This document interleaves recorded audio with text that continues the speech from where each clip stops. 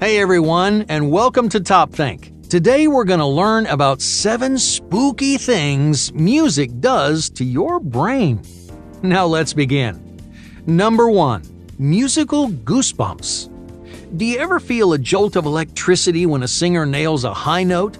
This weird sensation goes by many names. Some call it frisson, others say the chills, but most of the time people just call it goosebumps. It feels a lot like a small shock because it actually is.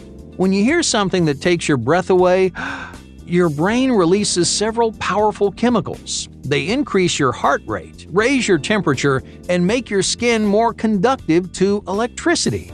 So, when your nervous system sends out an electric signal, it stimulates tiny muscles at the base of each hair on your skin.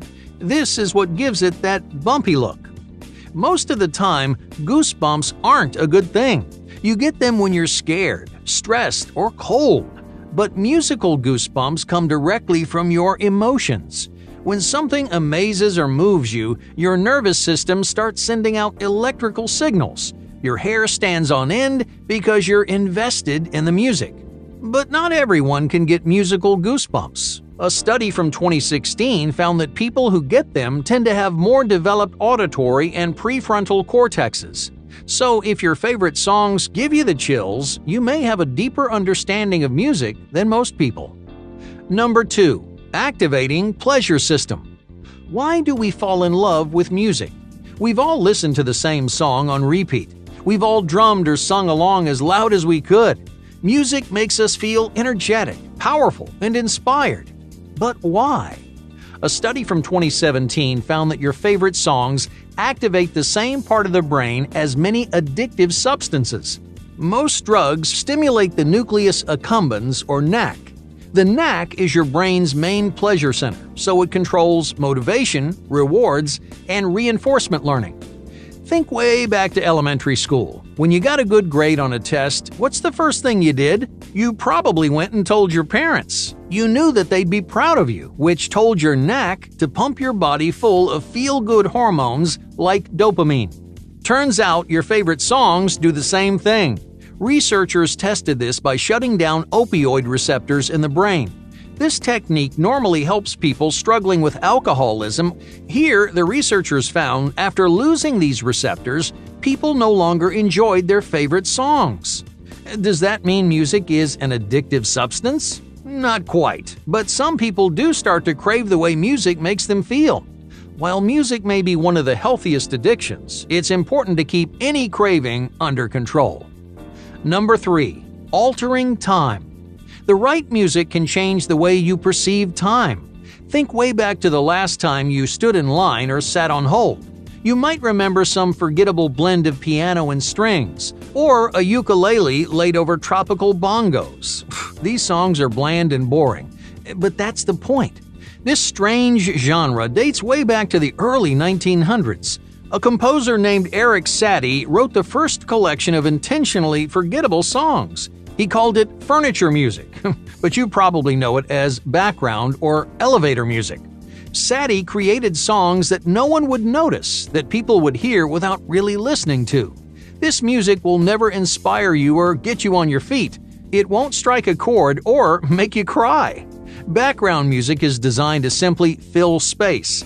It's there to prevent the discomfort of complete silence. People claim they like peace and quiet, but silence is not something many people actually enjoy. It puts us on edge, it creates an eerie vibe that inspires anxiety and fear. Even if you're not scared of it, silence still feels awkward. Is that how you want your customers to feel as they browse through your store? Sure, you groan when the same acoustic riff plays for the 20th time, but that music has a subtle yet powerful effect on your brain. It balances your mood with cheerful ensembles. Some songs make you feel like you're on vacation. Your attitude shifts, becoming more carefree and optimistic. The happier you are, the more money you're willing to spend. The science behind this is a little more complicated. As we go about our daily lives, our brains are taking in countless new stimuli. Few places are more perceptually overwhelming than stores and malls. We're constantly absorbing every sight, sound, and smell we come in contact with. Each new sensation makes it much harder to stay focused. Background music takes advantage of our brain's inability to concentrate. It provides a constant stimulus that clouds our judgment. In other words, you're more likely to drop a hundred bucks on new shoes because you were thinking about too many different things. But your rationale isn't the only brain function that suffers. Background music alters your perception of time. While you're standing in line, music subtly distracts and entertains you you unconsciously start to split your attention between the music and how long you've been waiting. Since only you're thinking about the wait half as much, it seems to go by faster. So the next time someone puts you on hold, don't let some mindless melody mess with your head. Number 4. Enhancing taste. In 2012, researchers found that listening to music while eating or drinking can enhance the taste. In this study, participants drank four types of wine while listening to different genres of music. Across the board, participants enjoyed each wine more when it was paired with a specific song.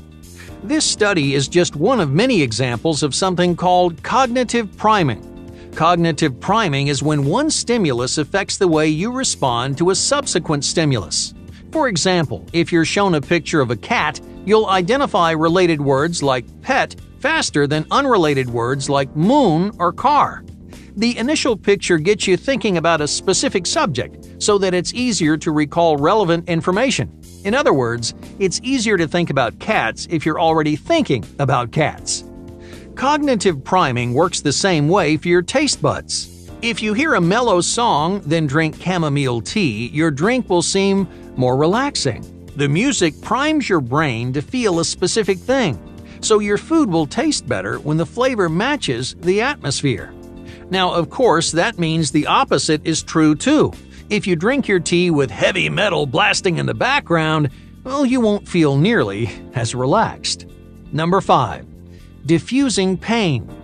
Your workout playlist doesn't just entertain your brain, Mm-mm. it actually increases your pain tolerance. Music is the world's most common form of pain relief but it works a little differently than the rest. Unlike Tylenol or aspirin, music isn't something you actively take to heal your body. It can't reduce inflammation or cure a headache. Instead, it relieves pain by shifting your concentration. When you're feeling stress, music triggers a powerful emotional response. Not only is this a perfect distraction for your brain, but feel good hormones also counteract mental stress. It replaces negativity with motivation, leaving you feeling empowered. The stronger you feel, the more pain you can tolerate. Your workout playlist, for example, changes the way you handle and react to stress. Your stomach might be cramping and your legs might be aching, but a good song will help you power through. So, what about on a grander scale? A 2011 study found that listening to music after surgery lessens the amount of pain medication patients take. Music was especially effective for patients with high anxiety. They were worried about potential injuries and negative side effects, but listening to music unraveled their stress. It helped them relax while taking their minds off their pain. Number 6. Recovering memories. Music also has the power to unearth blocked or forgotten memories. The unique emotions we attach to certain songs can remind you of everything from friendship to pain. One song might make you nostalgic for your childhood, another could remind you of someone who passed away. For people who struggle to make sense of their memories, music is a powerful tool.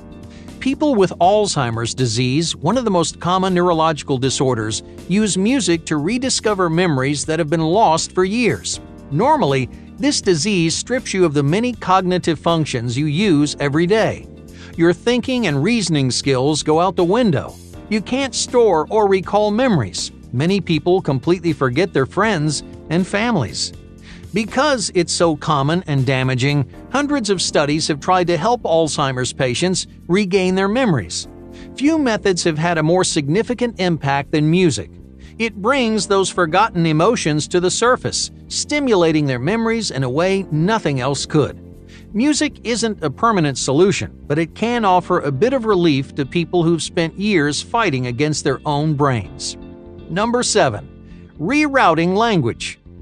Aphasia is another common neurological issue that limits your ability to speak. Some people can formulate sentences in their heads, but they just can't say them out loud. Others speak fluently, but fail to understand what people are telling them. They might respond with something completely off topic, thinking it made perfect sense. This kind of neurological damage can obviously impair your daily life. Luckily, psychologists discovered an interesting workaround. By singing instead of talking, people with language deficiencies have an easier time expressing themselves. This technique is called melodic intonation therapy. It changes language from something methodical to something creative. This means you're using a different hemisphere of your brain. Even if it doesn't sound that different, singing your words reroutes signals and avoids the damaged areas. Thank you for watching Top Think, and be sure to subscribe because more incredible content is on the way.